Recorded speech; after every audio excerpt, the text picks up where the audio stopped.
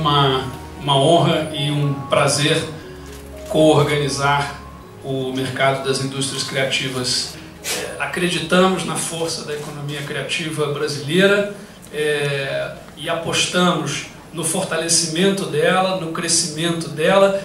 o poder que a economia criativa tem no Brasil de impulsionar, de estimular o desenvolvimento do país. Temos que eh, eh, generar, sobre todo, uma possibilidade de maiores intercambios como este, como el MICBR, donde eh,